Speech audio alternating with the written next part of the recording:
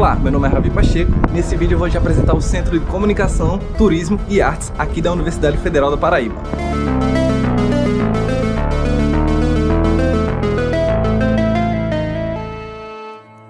O CCTA abrange vários cursos na área de comunicação, turismo e artes. Cursos de jornalismo, radialismo, cinema, teatro, dança e vários estilos musicais diferentes.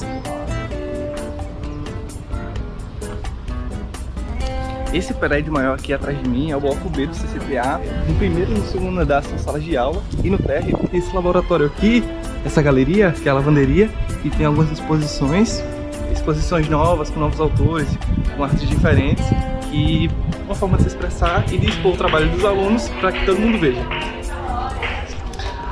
Aqui também tem esses murais que a galera fica postando notícias, cartazes de filme.